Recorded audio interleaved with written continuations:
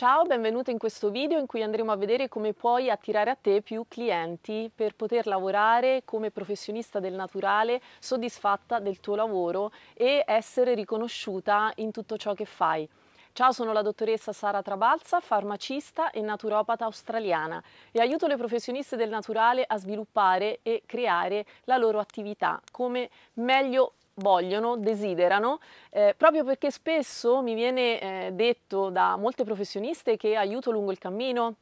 nel programma di sviluppo professionale Petals Elite che eh, partono da una situazione in cui magari non hanno clienti, non sanno cosa devono fare eh, per eh, attirare a loro più clientela, lavorare di più, lavorare più ore, avere anche quella famosa agenda piena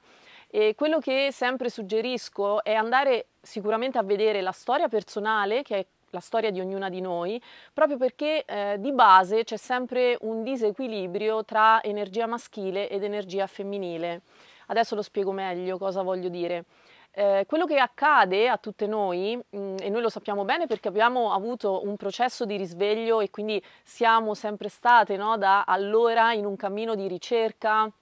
di ricerca profonda per andare anche a guarire delle ferite del passato, profonde, dolorose. E cosa accade in questo caso? Anche eh, diciamo, rif- il riflesso di quello che è appunto il nostro lavoro interiore sul mondo esteriore, quindi capacità di attirare a noi clienti felici e desiderosi di ricevere i nostri servizi, eh, di ricevere il nostro aiuto, è proprio il fatto di vedere a che punto siamo nel nostro cammino di evoluzione personale. Questo perché di solito quando c'è eh, la ferita del femminile molto aperta, ancora non è stata sanata completamente,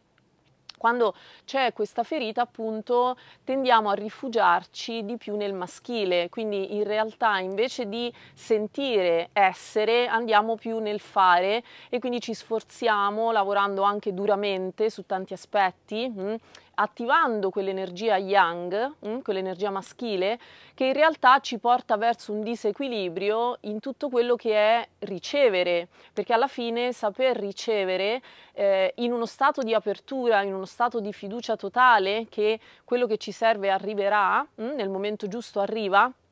allora dobbiamo assolutamente lavorare su quegli aspetti femminili che magari finora abbiamo un po' rimandato, abbiamo voluto non vedere, proprio perché se non saniamo completamente questa ferita poi ce la riportiamo anche sul discorso professionale lavorativo. Mm? È tutto collegato sempre e io questo lo dico alle mie studentesse che mi seguono da tempo, che fanno i miei corsi, che la crescita interiore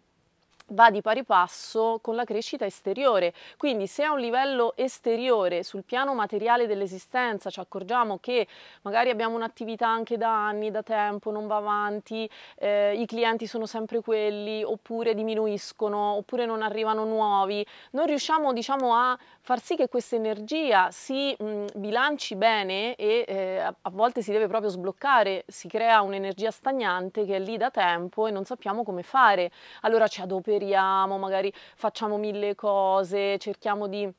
eh, fare anche tanti video, tanti eventi, tante cose, ma il solo fare non basta per poter anche essere e quando siamo in quello stato dell'essere è lì che riusciamo a ricevere ciò che la vita ci vuole mandare sotto forma d'amore. Quindi le due cose si eh, amore e denaro chiaramente, no? perché vanno di pari passo e perché è la stessa energia. E allora anche lì è importante trovare il punto d'incontro, trovare quell'equilibrio di cui siamo sempre alla ricerca tra il dare il ricevere. E questo si manifesta a livello emozionale quando le ferite femminili non sono state rimarginate come ehm, difficoltà a ricevere, a ricevere aiuto, eh, iperprotezione, quindi abbiamo questa diciamo, modalità eh, protettiva intorno a noi, un femminile che non è stato guarito si manifesta con dei comportamenti che sono molto comuni al giorno d'oggi, che possiamo osservarli e magari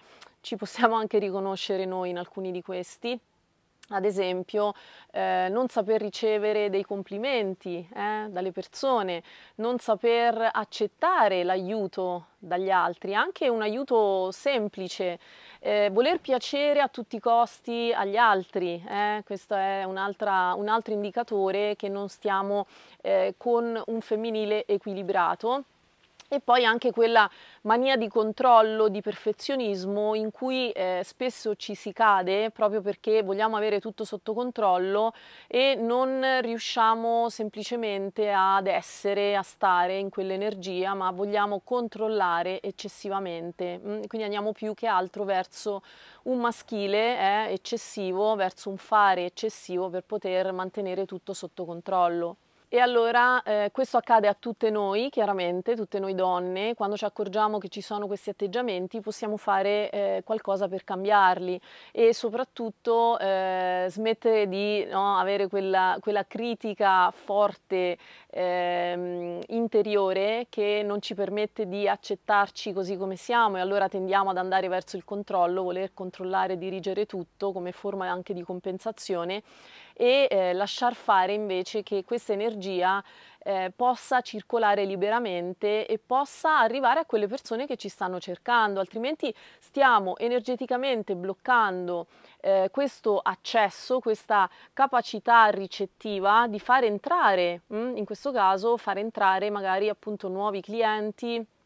e, e, nuove persone interessate a ciò che noi stiamo proponendo. Quindi rifletti se c'è qualche parte di te che ancora senti che non è così allineata a quella che è appunto un'energia sana maschile e femminile bilanciata, eh, soprattutto accorgiti se c'è sempre questa tendenza al perfezionismo e allora devi fare, fare, fare per arrivare a quel senso di perfezione che poi alla fine la perfezione sappiamo bene che non esiste, va bene migliorarsi, va bene andare avanti, ma quando diventa eccessivo questo controllo, questo senso di perfezionismo, allora è un indicatore che stiamo troppo nel maschile e mh, stiamo lasciando questa nostra parte femminile che invece è dotata di accoglienza, di ricettività